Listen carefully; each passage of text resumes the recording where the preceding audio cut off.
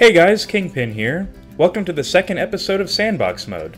In case you missed the start of the series in the last episode, we started off by making a really realistic looking gift shop. It's connected to the entrance, so realistically, this is going to be the first thing that guests see when they come into the zoo, and the last thing they see before they leave, so we wanted it to look really nice. There's plenty of toys and merchandise. If you like our custom entrance, it's on the workshop. That's the main goal for this series. Everything I make's going to be up there. This one's simply called Custom Entrance. Today is going to be a very simple and basic episode, although it's one of the most important ones. We're going to be working over here to the right side of the zoo, and making a very small little food court that's going to go right in front of the first exhibit, which we're going to be making in the next episode. If you guys enjoyed today's video, don't forget to like and subscribe. We're getting close to a thousand. Starting off the build, the restaurants I decided to open up were a hot dog squad in an energy drink stand. I think it's called Gulpy Energy. I forget specifically. Anyways, the reason I decided to build it right where I did, kind of on the back of the entrance, is because we're actually going to use the back of these buildings for something later on in the video, once we extend the path a little bit. We're simply going to be using the grid to throw a little facade around these buildings first. I think that's the easiest way. Use the grid, just get a basic shape and structure, and then detail it afterwards. We're going to be stealing the exact same color and design for the roof that we used before, we're literally just going to grab them, copy and paste them over, and use the exact same materials. We want everything in this zoo to look connected after all, and what better way to make it look connected than by using the exact same design for every building in the plaza? I thought it was a good idea. Saved a lot of time, too. I wouldn't really call it lazy, just strategic intelligence. In case you missed episode 1 of the series, the main goal of this zoo, besides putting every single item on the workshop, is going to be the little details. Everything in this zoo needs to have a purpose, even if it's not actually functional. For example, pretty soon I want to add a security room that has monitors that can tap into all of our cameras to keep the residents at the zoo safe. We're going to have that, despite it not actually working in the game. Just like these gutters. If it rained in real life, these gutters would protect the roof from leaking and get the water down safely. We're going to have things that make sense in this zoo, despite not always being functional. That's the main thing I really want to try here, and hone my detailing skills to a masterful level. Also, this is kind of off script, but check out this little glitch that I found. I have no idea what caused it actually. I was just placing these gutters down, copying and pasting, then this random grid showed up. No matter what I did, I couldn't actually get rid of it, so I had to save and quit the world. I was kind of paranoid that nothing would actually save, but luckily it did, and everything was alright. And if only Planet Zoo had loading screens that fast. Everything's all good though. Back to the video. This is the part in the build where I kind of didn't have a plan. Going in, I knew exactly that I was going to replicate the gift shop and entrance style with the gutters, limestone, and wood texture, but after we did that, I had no idea, so at this point when I was finishing placing up the gutters, I was kind of lost. One thing that I really wanted to do was have recognizable things in universe. Take Hot Dog Squad for example. In Planet Zoo's universe, I'm thinking that this would be as iconic as like McDonald's and you can't have McDonald's without the famous yellow arches. So I figured I had to put the logo of Hot Dog Squad and Gulpy Soda on the building. That was just a given. After that, I threw out some air conditioning units just because you gotta have your staff happy, and what happy staff doesn't want to have AC in 90 degree heat in the Midwest. After that, I added some more very basic details like some power outlets and even some doors, which we actually got rid of later because I wasn't a fan of the way I had to augment the path. We'll get to that in time though. For now, just ignore that. After adding in all those details, we then had to figure out how to get the water from the roof that would be collected in the gutters down to the collection system on the floor. In order to do that, we used some of these longer gutters that anchor into the building, and then used one of these ones that bend at about a 45 degree angle and put it down. After that, I realized that I actually didn't put it out far enough, so we had to fix it. In order to fix it, we anchored it completely into the ground, and then used an optical illusion like this to make it look like it's actually not into the ground entirely. But now we have little brackets to where the gutters need to be connected to something. I wasn't really sure how to fix this. Rocks are too uneven and jagged, but then I remembered that we actually made something that would be perfect for this in the last episode. I thought this would be kind of cool as a bench or something, but then I decided it might be a great idea to put this right in front of our buildings here. This way, it wouldn't necessarily be a bench, but it would also break up the texture while still fitting in which is one of the hardest things you can do. Adding a completely new color to a build palette can be extremely difficult, but if you have the color matching a building that you already made that shares the same palette, it'll fit naturally, because you took it from a building where it already works. I really like to do this, and now we know that these cinder blocks gel well with our general build palette, so any building that we use these planks, that limestone roof, and the tiles, we know this will work well for a little accent block if we need some more details.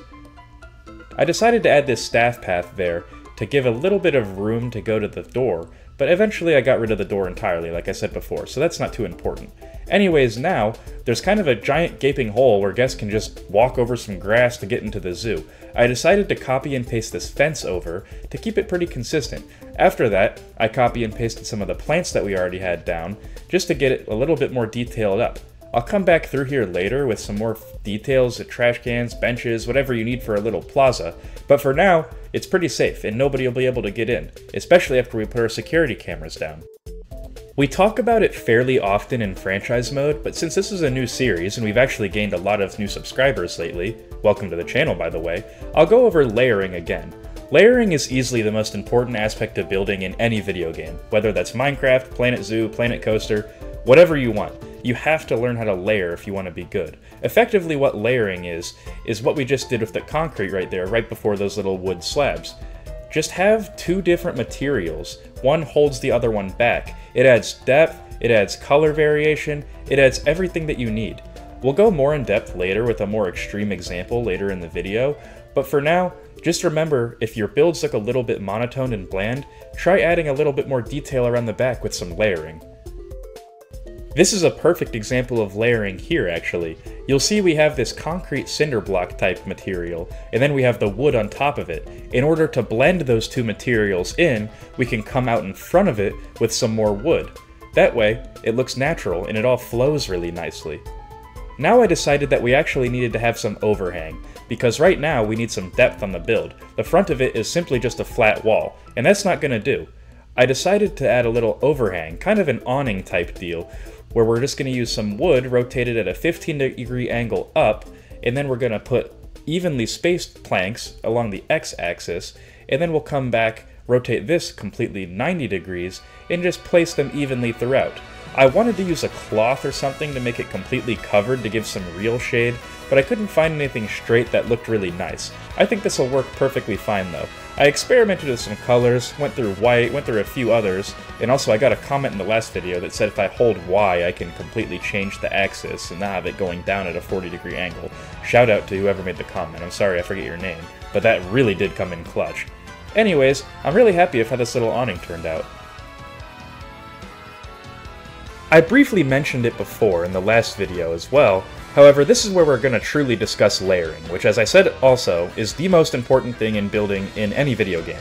Effectively what it is, is taking a material that looks similar to what you're building with, and simply just placing something else on the outside of it. This way you get the layer effect. See how this looks completely different than the vertical planks on the front, despite there being the vertical planks underneath. This is how you can make completely custom textures that nobody else has access to in the game.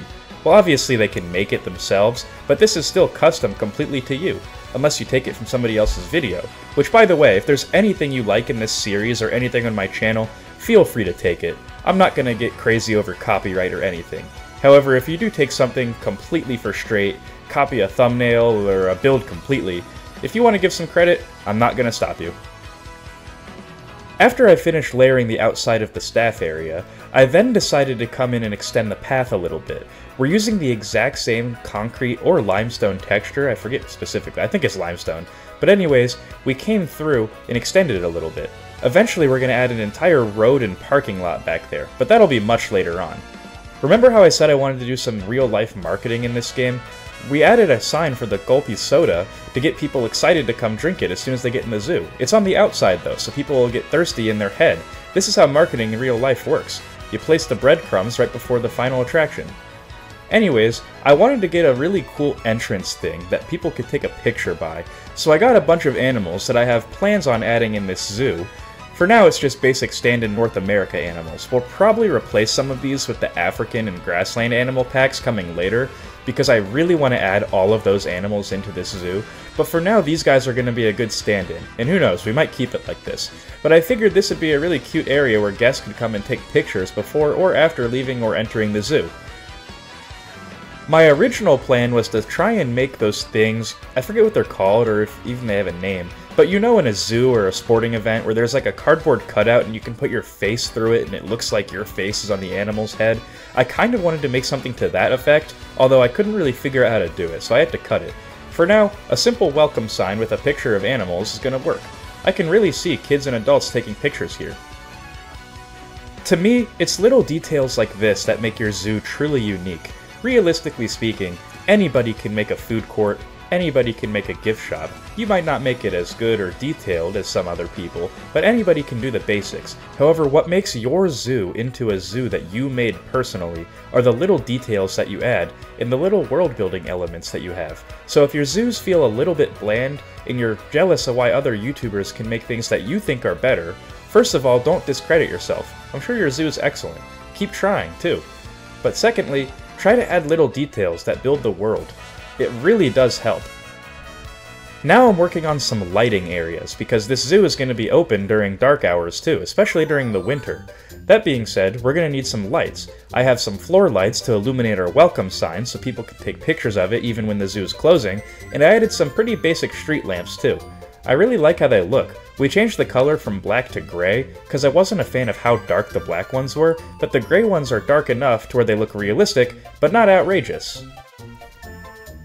After that, I went back into the main food court area and realized something was missing. I figured in real life, if this happened, guests would be pile driving each other to try and get to the front of the line because there was nothing to actually stop them from getting to the front of the line. That's why I added these guest ribbons.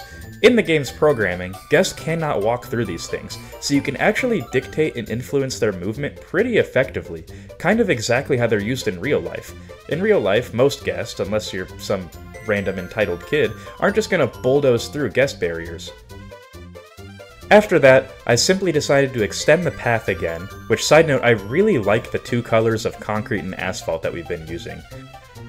After I extended the path, I simply copy and pasted our little barriers over so the guests can't get through on this side either. Didn't necessarily need to do something crazy complex, so I actually just added it to the outside. Wasn't really sure what else to do here. I really like the effect, and I forgot to turn the lights on, so I have to do that now. Check it out, guys! I'm really happy with how it turned out. I wanted to add some picnic tables and other areas for guests to sit, but that's gonna clash hard with the next episode. You guys are just gonna have to trust me. I know it looks a little bare now, but once we get an exhibit over here, and it might be a pretty big one, it's gonna work out in the end, I promise. Also, feel free to drop animal suggestions in the comments. I'd like to hear what you guys have to say.